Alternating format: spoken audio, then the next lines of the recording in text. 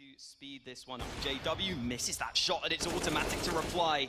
Golden gonna need to put in a shift here because Krimz is down low on health.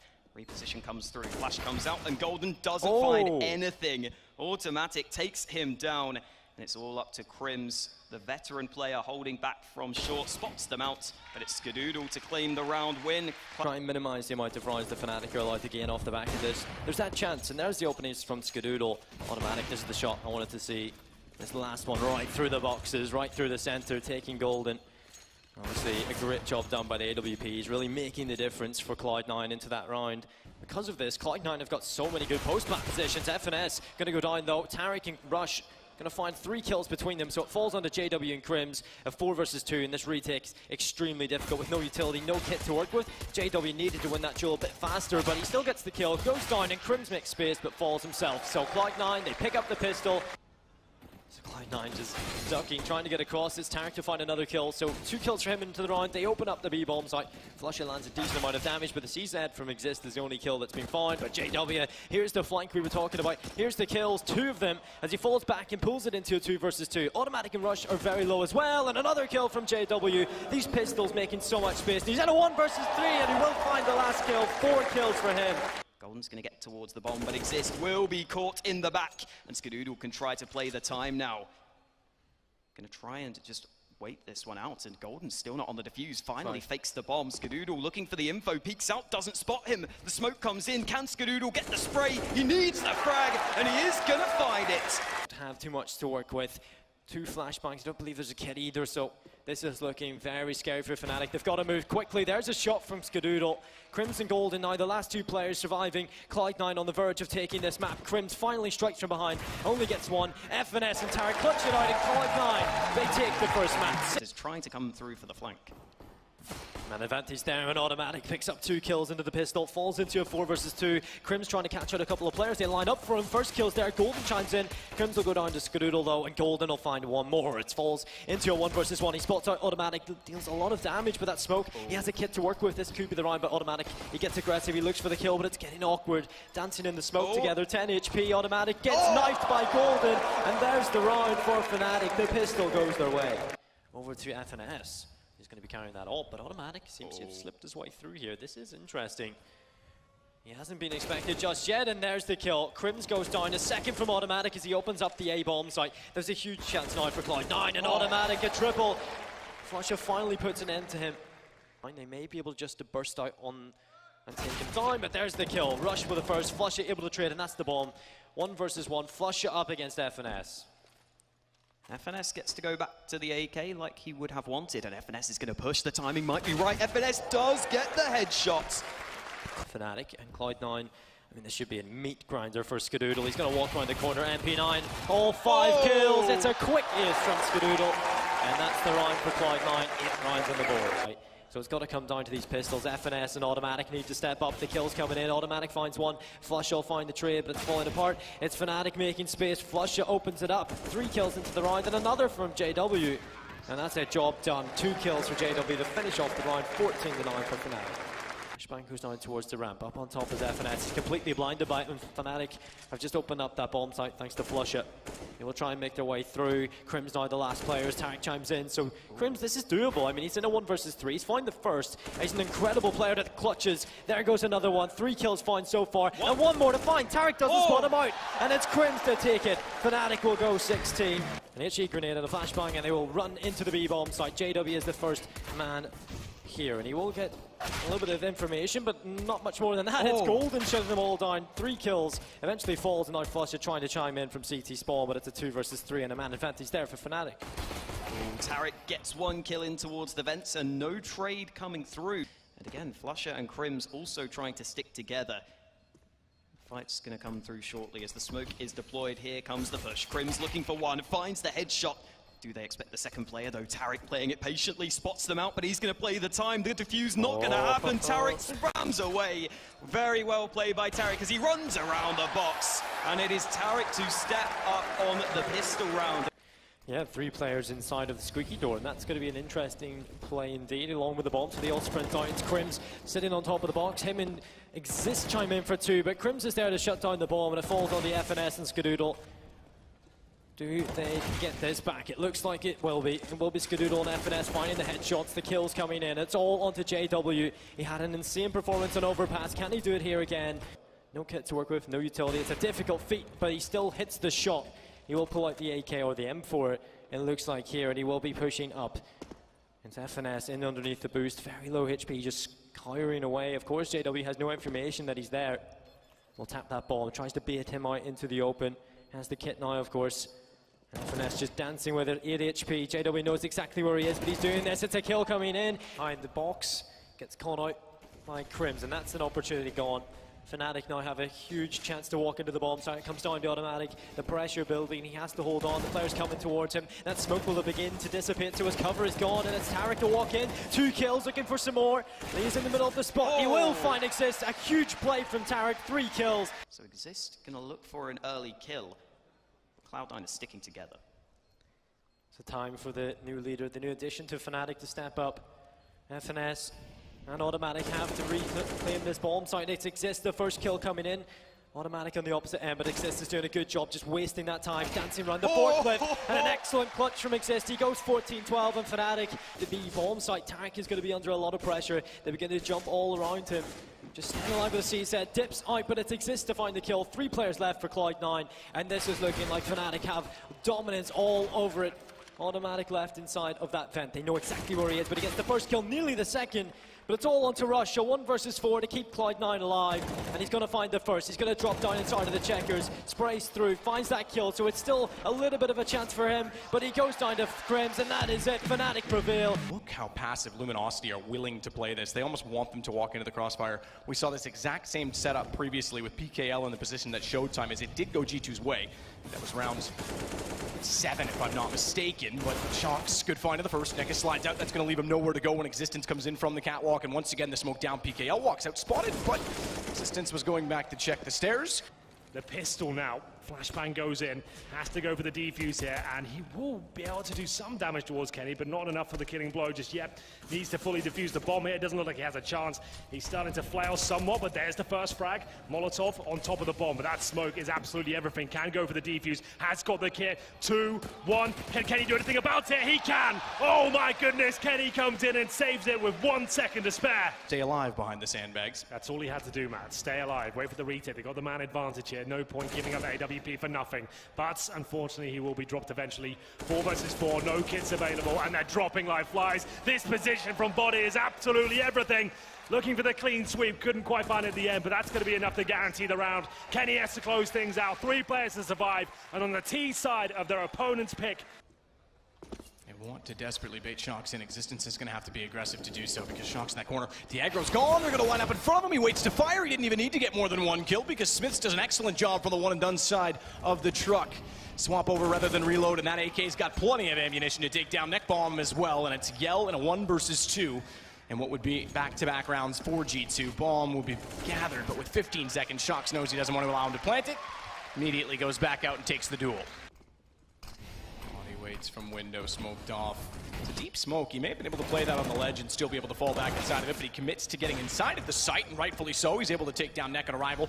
AWP for body this time, and Steel falls next. Kenny on the flank. Map done. G2 are going to take Luminosity's pick 16 to 9. This can be very vulnerable to the spam, but Existence is the one to go up, but he makes a bit of a noise He there. did, he did. That's absolutely been spotted. They go in, they don't check it over top of him. It's Existence that turns around with Shox, but they're unsure of which way to look. They need the third player from Highway, which they'll get. They'll receive. Shox and Existence steal. Massive swing in his aim, and suddenly Smithzz, I said they needed the player from Highway, has to respond. But speaking of, watch Yell, because if he gets the trade back, it'll be a late trade and brings this to a one-on-one. -on -one. There is ample opportunity to get the bomb back inside of the A site. A minute to work with. In fact, he's going to go all the way through there together, though. This is good positioning, but it's the AWP that's left to get the trade, and down he goes. Good shot from Yell. Never happens, and at that point, even a one versus three is possible with a lack of utility. PKL good position as he finds two frags, make it three, starts mowing them all down towards the squeaky door. And Luminosity all of a sudden have a lifeline here. Surely this is their round. Perfect. They try and make straight contact through the door and he's positioned. Didn't want to crouch down, didn't want to hold and wait. Shox over top of the red crate. Finally an opening for G2. will take down PKL. Bomb not quite in position though. Still back toward A main, or excuse me, mid main. So they've got to go back for that, which means they've got to hold off longer inside of the site as Kenny S tries desperately to get the no scopes, but can't do so. And it is responded that time in which Majority of the CT power towards A, but the bomb's being planted at B. Now it's a two versus two. Body secures the kill on towards Steel. Kits available, one of these players with the AWP existence and bodies to defend. It is the right call. If, if you're that chaotic inside of A, you forced a rotation, but you still have the availability, especially having lost the site again, to go back toward B. And they've got so much time in the post plant, but Body had to hit that shot. Existence left at headshot, has two players approaching together, which means trade potential exists. It is an AWP for Yell. So a possibility that it can still be caught out. Good find in the first. As Existence swings back around, and he'll finally give G2 a round. There we go. Existence finds in their first gun round. To actually conceal toward highway may tempt them into taking that position. And do they check forklift in doing so? Because it might not be suspected. Showtime does have the AWP, so if he stings up that wall, he can catch them off. The first kill by Smithzz has discouraged that, however. And look at B. Body's already inside of the site. Bombs going back. Shox is going to start to lurk any second. Showtime not peeking it as well. He can easily catch the kill to Highway, does that, and rotates in knowing there's no one else around, which means he's going to buy more time, more space, and B is absolutely going to get planted. It's 11 seconds, mind you. It's so confusing for Luminosity right now. They have no idea what's going on. Back and forth between the bomb sites, but the plant does come in successfully. Showtime oh. goes with the hero play map, and that could be it. Two versus one. They don't need to do much at this point in time. They can play the cross, they can play the bomb, and like you say, without the kit, this becomes a massive problem. NEKIZ will go, finds the first as they look away from the flash, but he's unsuspecting of them both being in the same position. Taps the bomb, which forces the peak, but he's not got much else to play for. 16-11 G2 go 2-0 does Nafly have the speed to deal with this? Can there be a distraction elsewhere? You see Flusha shuffling left to right. He's got Existence below him on the site now, and now Existence exposed. You see him repositioning below. He's got to be careful. He's got to block himself from the hut position so he doesn't get double peaked. And Elige will go down to his doom. And there's the 180 from Xizt, but he can't trade fast enough.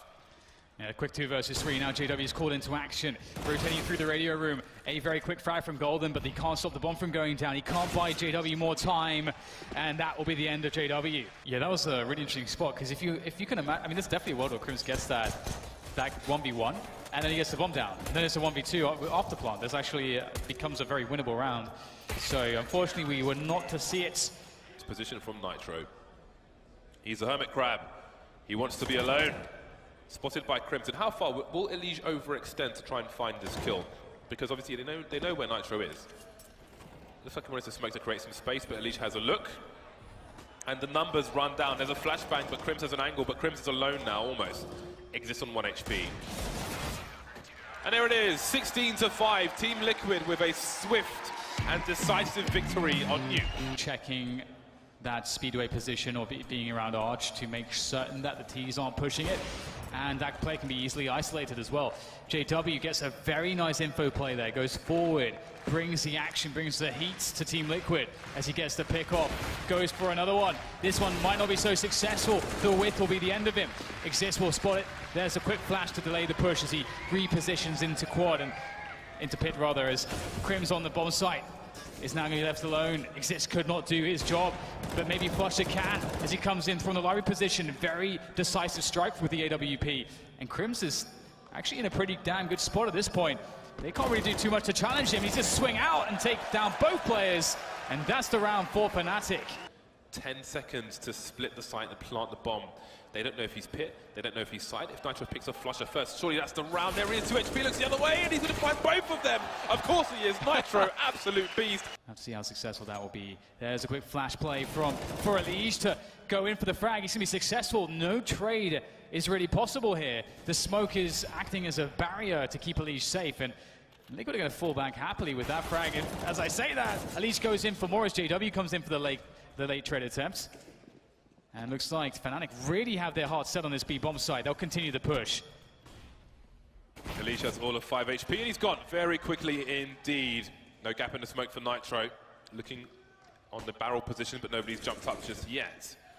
Three versus three, and there is a smoke to replenish. Golden's got one in the hole, and that might make more problems. Taco hasn't seen the player in pool right behind him, though. Someone do a 180, please. Where's the trade? Golden doesn't realize. Twist is dead, and there goes Taco. That is absolutely crazy. What on earth? Perhaps Elige surely sees him first. Does he go for the run now? Twist is not that far behind, smoking off Speedway, but he's got to get around this corner, and he will just about do it. Does he go for the barrels plant, the coffin plant? It will be the latter. Twist moving into position. Now, he knows where the bomb's being planted. He knows that Xizt is not crossing.